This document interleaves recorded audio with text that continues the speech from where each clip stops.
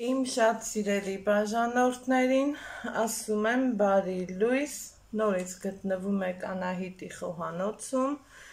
նորից պատրաստում եմ համեղ բոլորիս էլ ծանոթ ճաշատեսակ ու որոշել եմ արդեն սովորության համաձայն կիսվեմ ձեր հետ, մինչ բաղադրատոմսի կիսվելը կցանկանայի նշել, որ Եթե ինձնից փնտրում եք ինչ-որ բաղադրատոմս, դա կլինի խմորեղենի, դա կլինի ուտեստի, դա կլինի պահածոյի, չգիտեմ, ով ինչ կփնտրի,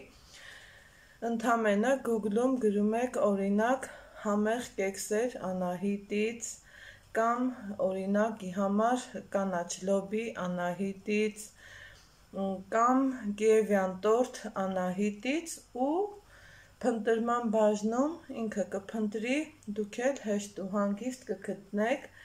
ինչի անդրադարձա այս հարցին, որովհետև երեք առաջի օրը բազում նման հարցեր եմ ստանում, որ որոշեցի մի անգամ եւս ասելու կիսվել ձեր հետ։ Իսկ հիմա արդեն անցնեմ իմ ուտեստի բուն պատրաստմանը։ Այստեղ տեսնում եք մսից պատրաստված կոլոլակներ, որ ես նախորոք պատրաստել էի, դրել սարցախցիկ, պատրաստման եղանակը պարս հասարակ մատչելի, աղացել եմ խոզի և տավարի պապտամիսը, համեմ էլ պապտամսի հետ աղացել եմ նաև գլուխ սող, ու խճողակի մեջ ընդհանրապես ես բազմիցս նշել եմ էլի կնշեմ, խճողակի մեջ ես ձու չեմ լցնում, այն մարդիկ կան, որ ասում են ձու կցեմ, որ չքանդվի, իմ մոտ այդ տարբերակը չկա, ընդամենը հունցելուց հետո վերցնում եմ փոքրիկ չափաբաժնով, որ չափը որ նախընտրում եմ, ու մի երկու երեք անգամ միսը լավ խփում, Ըտեղից ենկոմ ինքը քանդվելու տարբերակ վստահ եմ ասում հաստատ չունի, չի ունենա։ Ուրեմն ուտեստի համար մեզ անհրաժեշտ էր առաջի հերթին կոլոլակները, ինչպես տեսակ կտրտել եմ սող, սոխը մի քիչ առատ, քանի որ պատիվա եմ պատրաստելու, երկու դափնու տերև անհրաժեշտ, տոմատի մածուկ և իմ պատրաստած կարմիր պխպեղի մածուկն եմ օգտագործելու, ինչպես նաև մեզ անհրաժեշտ է լինելու սպագեցի։ Հիմա անցնենք գազոջախի մոտ, սկսենք պատրաստելը։ Դե ջուրը դրել եմ, որ եղա, մինչ կերա ջուրը պատրաստում ենք սոխարած տապակի մեջ նախորդ լցրել եմ բուսայուղ ստեղ դափն ու տերևը ուղարկեմ ջրի մեջ ու սոխը կտրտել եմ այ այսպես կիսալուսիններով խոշոր եմ կտրել, քանի որ պատլիվայի համար նախընտրում եմ սոխի հայետ կտրվածքը ու սովորական սիրուն սիրուն պատրաստելու եմ ոսկեգույն սոխարած Հիմա սոխը թեթև տապակելուց հետո չենք էլ թողնում դառնա ոսկեգույն քանի որ ինքը եփվելու էլա, չէ, ու այդ դեպքի համար կլխկվի, կոնկրետ ես նախընտրում եմ սոխի տապակման հենց այս տարբերակը, ստեղ ունեմ տոմատ, մի աննշան ջրով բացած, իրախտությունը արդեն տեսակ, ինչ աստիճանի է, կավելացնեմ տոմատը,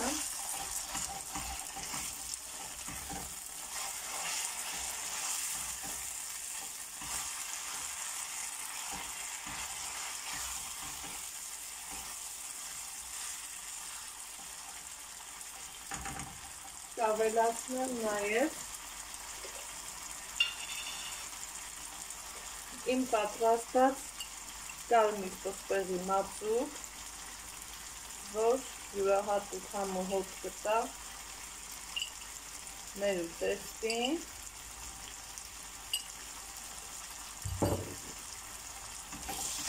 նորից թեթևակի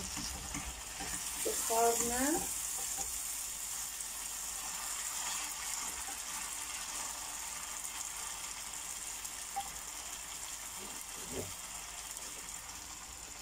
ու արդեն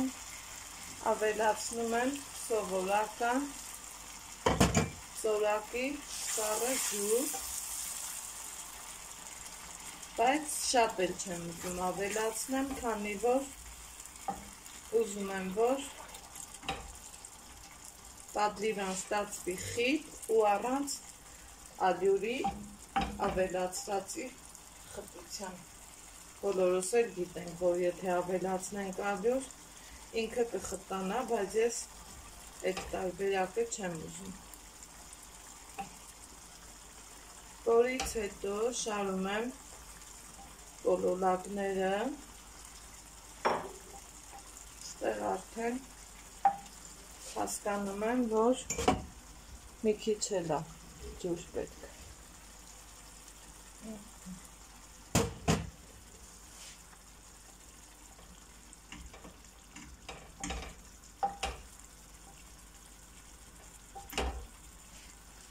տեսնում եմ, որ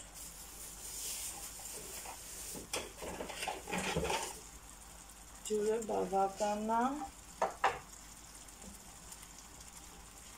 համար արդեն նորմալ է որից հետո կավելացնեմ մի քիչ աղ սպագեցի ջրին արդեն կապից դուրս ավելացրել է աղը, կհամեմ են մի քիչ սև պղպեղով, բերանը կծածկեմ, տեղափոխեմ մարման գազոջախի վրա ու կսպասեմ, որ եռը։ Հիմա մինչ կեփի արդեն պատրիվան ստեղ ջուրը եռած ու եփելու ենք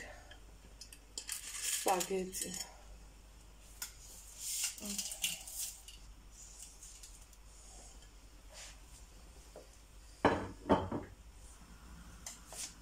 սպասեմ եփվի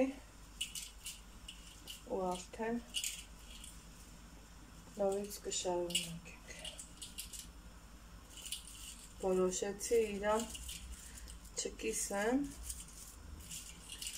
հենց այսպես է եփեմ։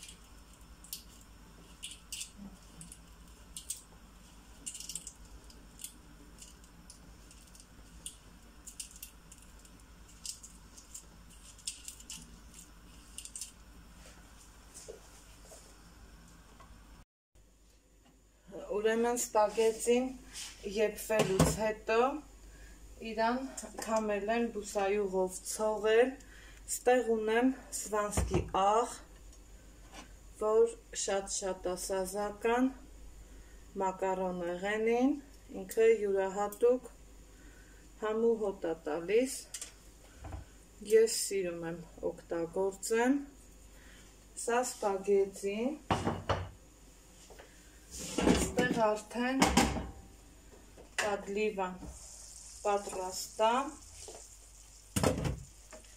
ու տեսեք ինչքան ինքը